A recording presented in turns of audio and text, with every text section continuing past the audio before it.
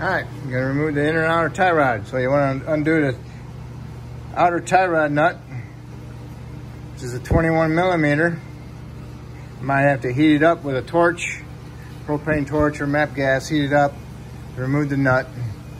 You might have to pry it up into the socket with a pry bar to keep it from turning, but once you get the nut off, smack it with a hammer, break the taper loose, now it's free. Then get yourself some uh, pliers, and remove this clamp.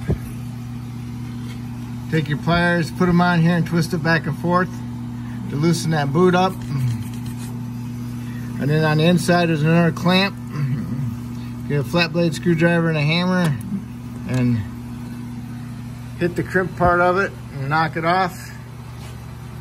Okay? And then you go in here and you grab hold of the boot and you twist it, pull it all the way off. Boom. And then what you also want to do is turn the wheel all the way to the left.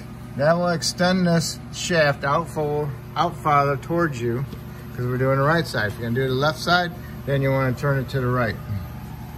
Okay? You can use a big pair of channel locks. You can use a pipe wrench or you can use the special tool that goes on it. I used a pipe wrench. I went over here in between the uh, the stabilizer and the, and the lower control arm. And I turned it and broke it loose. So all you gotta do is just break it loose. Okay, and then you can then you can take it off by hand. Okay. Next, you wanna go over here, get a tape measure, extend your tape measure out, put your tie rod on the end of it, the center of the flat piece, like where there will be a grease zerk to the center.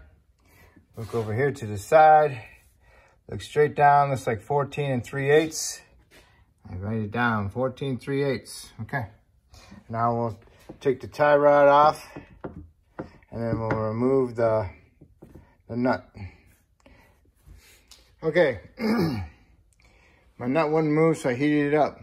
You don't have to do this because I got a new tie rod, an inner tie rod, and a boot. So I don't have to do this. The only reason why I'm doing this because I want that nut.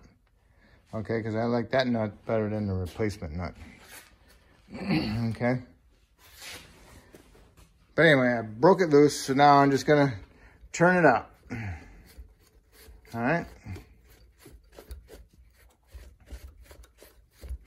As I get this out, I'm going to measure the threads.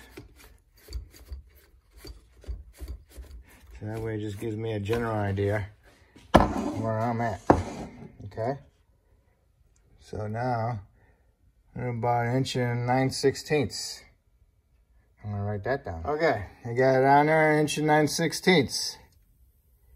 A little bit more than I want. Let's see. Yep, that's better. Okay, so here's the comparison on the nut.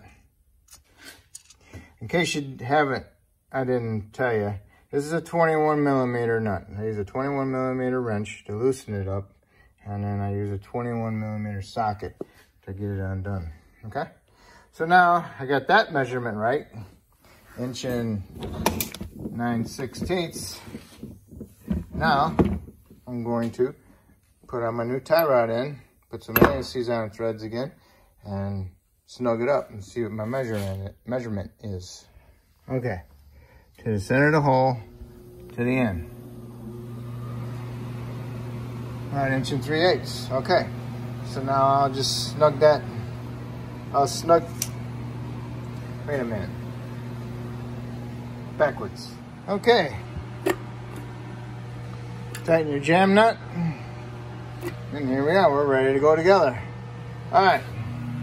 Next, rub a little bit of Loctite on there. Okay. I just mean a little bit. I don't mean a lot. Just, just go like that like that. That's all you need to do. That's it. Now you start it and get it threaded on there, and then we'll tighten it up. Okay. All right, I got it pipe wrench on there, and I turned it and tightened it up. Just tighten it up. You don't need to bear down on the crap load out of it because you don't want to damage your wreck. So just tighten it up.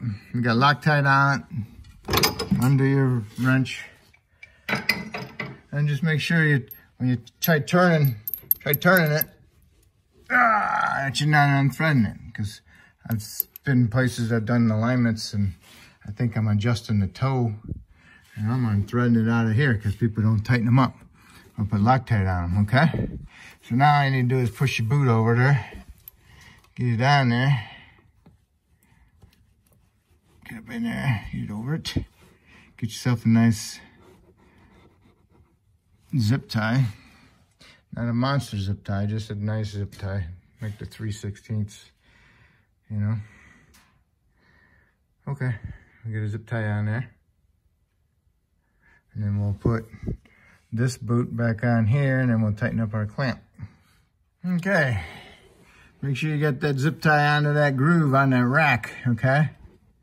And sure it's not over the edge of it, okay? Make sure it's in that groove. And pull the boot out and put it under that little notch and then tighten your clamp up. And then next you can put your tie rod in on your knuckle and tighten it up, all right? Once you get that done tightened, then you can put your tire on and tighten your lug nuts to 100 foot-pounds and, and that's it, and you're done.